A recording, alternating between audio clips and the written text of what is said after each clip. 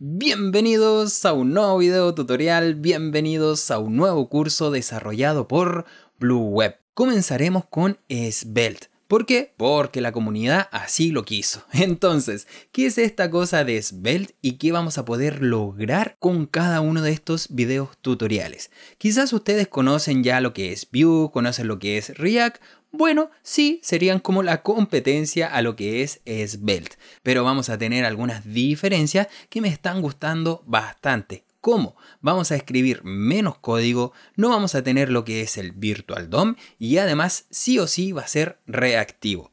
Todo esto nosotros lo vamos a ver a través de una serie de videos tutoriales. La idea es que no sean videos tan extensos para que ustedes puedan repasar cada uno de los conceptos. ¿Qué es lo primordial? Obviamente que se vayan al sitio web oficial y como no revisen la guía que les estoy creando con mucho cariño. En esta guía ustedes tienen cada uno de los enlaces, así como también los códigos para que puedan copiar y pegar. Obviamente no tienen que copiar y pegar porque cuando más aprendemos es cuando escribimos cada uno de nuestros pedacitos de código. Ok, veamos los requisitos antes de comenzar en profundidad con lo que es Svelte. Tienen que saber lo que es HTML y CSS. Aquí les dejo un tutorial. También tienen que conocer lo que es JavaScript y también lo que es el DOM también tienen esos tutoriales para que los puedan revisar. Y como no, tienen todos los cursos por si quieren aprender muchas más cosillas interesantes. Vamos a trabajar con Visual Studio Code y además me faltó detallar, a ver un poquito más abajo, que tengan instalado lo que es Node.js. ¿Por qué vamos a utilizar Node? Porque vamos a trabajar con NPM. Ustedes pueden dar clic al LTS o a la versión actual, me da exactamente lo mismo, y le dan a Next, Next, Next. Cuando tengan instalado lo que es Node.js, podemos utilizar lo que es NPM, que es un gestor de paquetes esencial para que toda nuestra aplicación.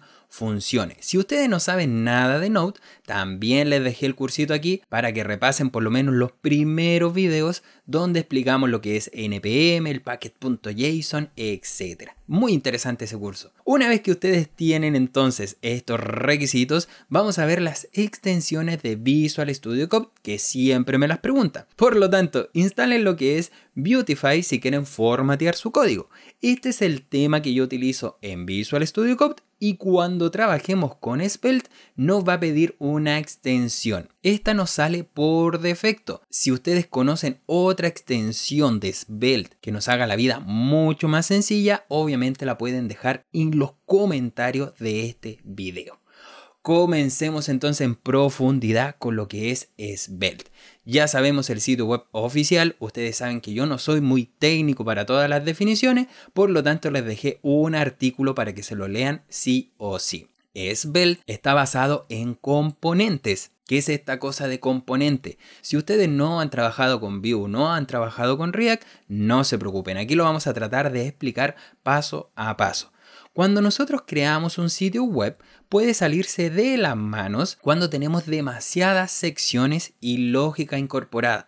Por ejemplo, miren solamente este navbar. Tenemos algunos enlaces, tenemos un título, pero también tenemos aquí un buscador. Para escribir el código de una forma más sencilla, nosotros podríamos separar, por ejemplo, lo que es este título, podríamos separar todo el apartado del menú con las anclas y además podríamos separar lo que es este buscador. Así podemos generar la lógica, los estilos en CSS y el HTML necesario solamente de este buscador que sería independiente al menú, al menú lateral, al contenido de nuestro sitio web, etc. Así ustedes van separando su código y podemos detectar de una forma sencilla cuáles son los pedacitos de nuestro sitio web.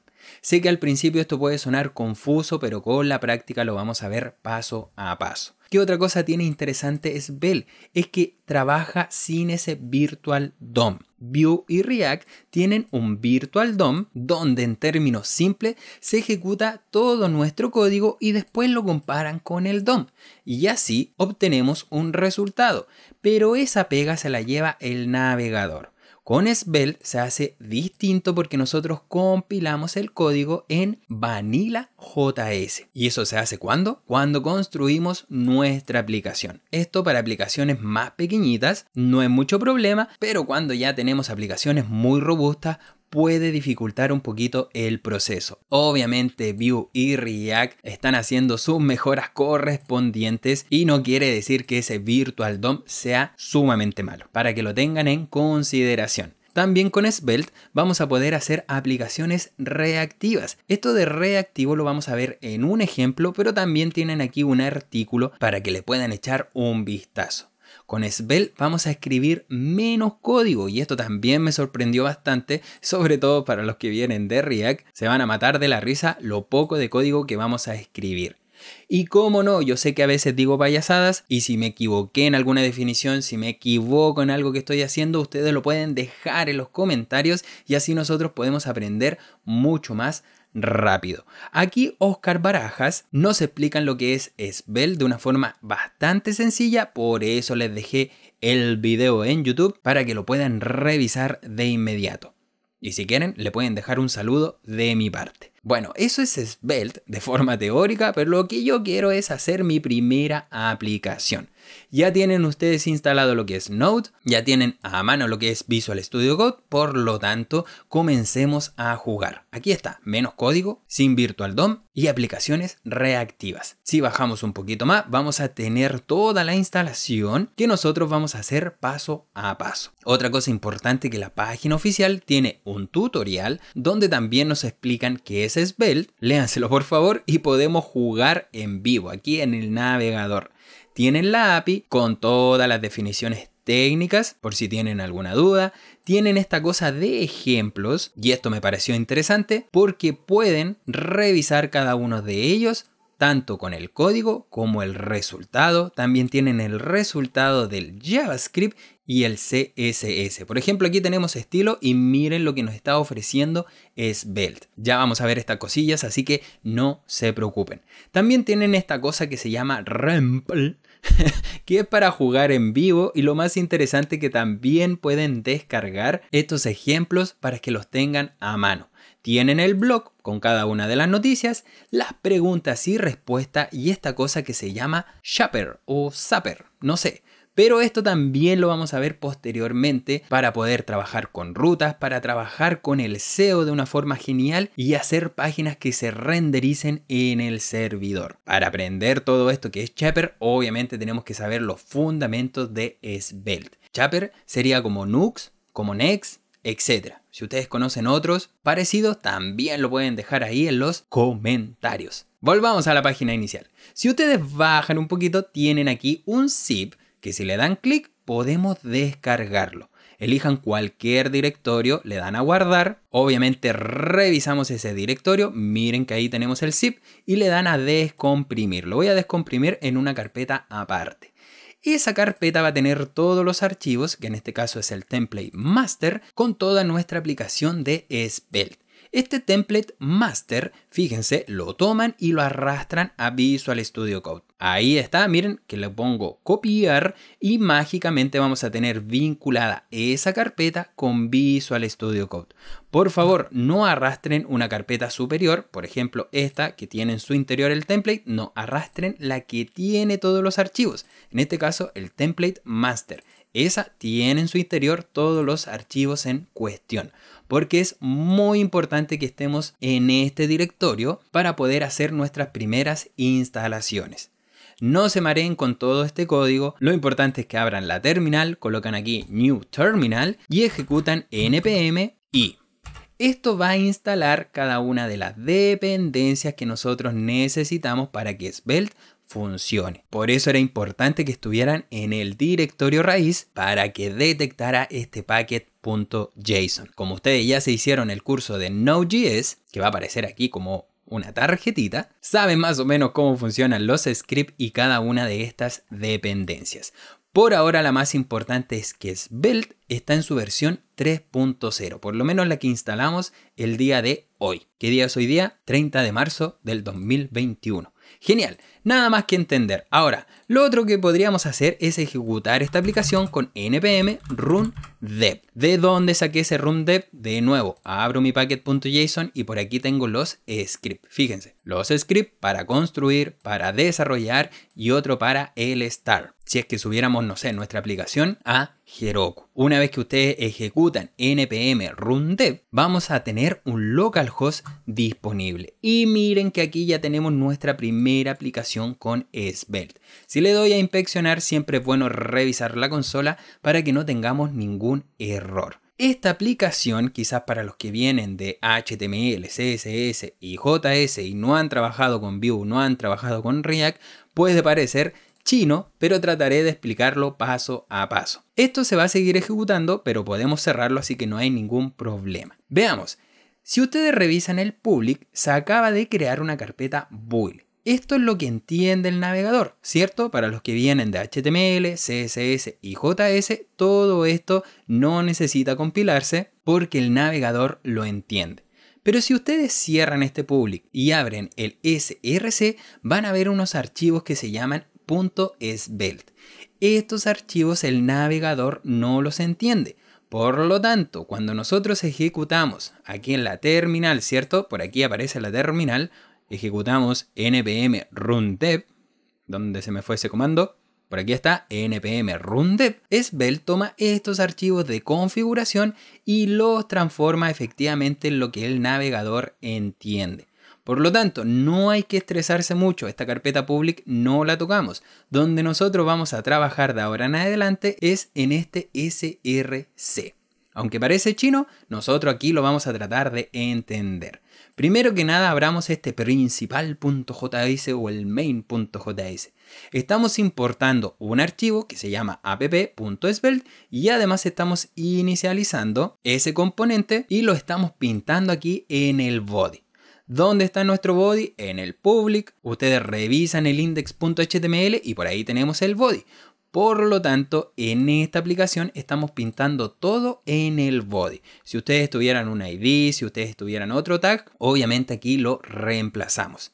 Esto ya lo vamos a explicar en futuros videos, lo importante es que lo tengamos configurado. Además, si abrimos el app.svelte, van a tener tres partes fundamentales, que es el script, donde va a estar nuestra lógica, van a tener el HTML, que en este caso es una etiqueta main, y además vamos a tener todos los estilos. Aunque esto es solo un componente, posteriormente nosotros vamos a tener esos pedacitos de código, se recuerdan, vamos a tener por ejemplo una lupita, vamos a tener nuestro navbar, nuestro contenido principal en diferentes archivos .svel y cada uno de ellos tendrá su script, sus etiquetas en HTML y sus propios style. Si revisamos por aquí tenemos algo extraño que quizás ustedes no entienden, que son estas llavecitas. Tenemos hello, name. Y por acá, en nuestro resultado, tenemos Hello World. ¿De dónde sale ese Hello World? Si ustedes revisan nuevamente el main, por aquí tenemos World, que se está pasando a través de un props. Esto también lo vamos a explicar posteriormente. Lo importante es que este props está viajando, o este name, a nuestro componente y se está pintando aquí en este H1. Voy a cerrar por ahora el Explorer. Aquí en el script hagan otro LED que por ejemplo se llame saludo. Y ese va a ser igual a un string que diga hola svelte. Nada nuevo, ¿cierto? Esto es JavaScript. Ahora, con esta llavecita nosotros podemos llamar a datos que estén dentro de nuestro script. Ahora, si yo hago acá, o voy a borrar todo este texto y voy a pintar las llavecitas, fíjense, y llamamos a saludo. Si yo guardo visualizo mi sitio web, ahora me dice hola Svelte.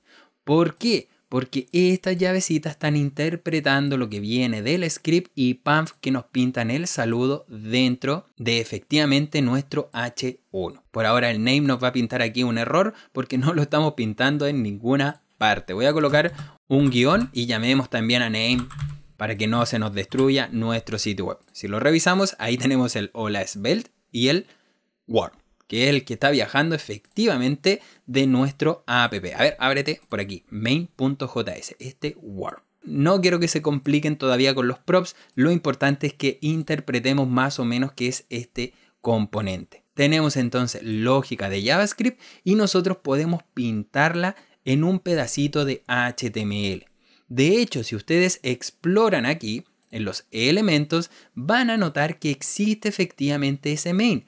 Se pinta nuestro H1 y se pinta nuestro párrafo. Si revisamos nuevamente la carpeta public y vamos a nuestro index HTML, fíjense que acá no existe esa información. Por lo tanto, esto que no lo entiende el navegador, lo está compilando en archivos JS y esos archivos JS obviamente hacen la magia y pintan todo nuestro sitio web.